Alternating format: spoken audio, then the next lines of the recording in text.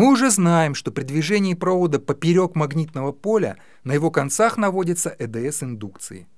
Сделаем такой опыт. Закрепим на подставке цилиндрический неодимовый магнит и возьмем катушку, на которую намотано 3200 витков медного провода.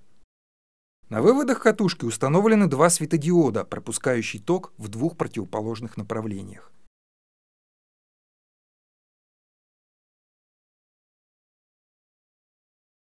И смотрите, один из них загорается при быстром приближении катушки к магниту, а другой при удалении катушки от магнита, когда ЭДС индукции меняет свое направление.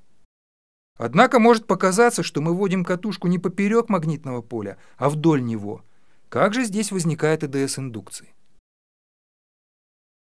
Построим силовые линии магнитного поля цилиндрического магнита в программе Vizimac. При удалении от полюсов магнита поле слабеет, и силовые линии расходятся.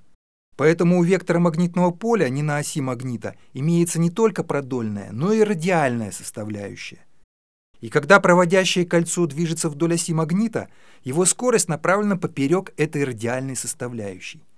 В результате такого движения на свободные заряды внутри кольца действует сила Лоренца, которая гонит их по кругу вдоль кольца и создает в витке ЭДС индукции.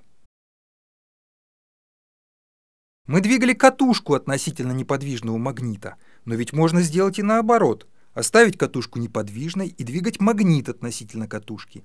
И эффект очевидным образом будет тем же самым. Но теперь проводник не двигается, и сила Лоренца на свободные заряды в проводнике уже не действует. Каким же образом ЭДС индукции возникает в этом случае? На этой схеме цилиндрический магнит движется вверх, а электрические заряды в неподвижных витках гонятся по кругу некоторой силой. Но сила, действующая на неподвижный заряд, свидетельствует о том, что этот заряд находится во внешнем электрическом поле. Поэтому мы вынуждены сделать вывод, который вначале может показаться обескураживающим.